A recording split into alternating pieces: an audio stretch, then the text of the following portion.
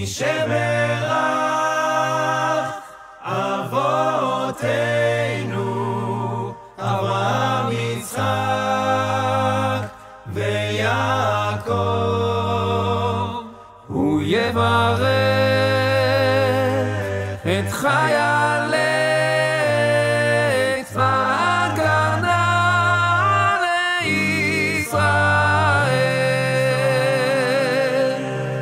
העומדים על משמר ארצנו.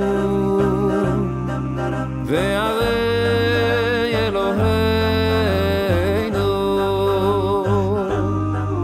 מגבול הלבנון ועד מדבר מצרים מן הים הגדול עד לבוא הערבה. ביבשה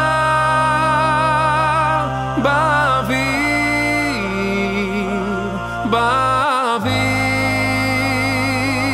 ובים יברך את חיילי צבא ההגנה לישראל.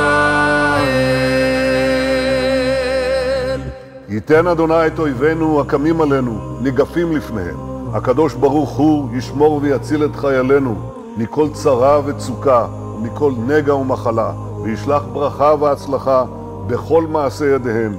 ידבר שונאינו תחתיהם, ויעטרם בכתר ישועה ובעטרת ניצחון.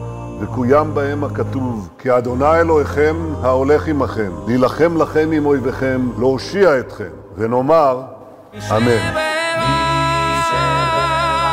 אבותינו, אברהם, יצחק ויעקב, הוא יברך את חיילי צבא ההגנה לישראל.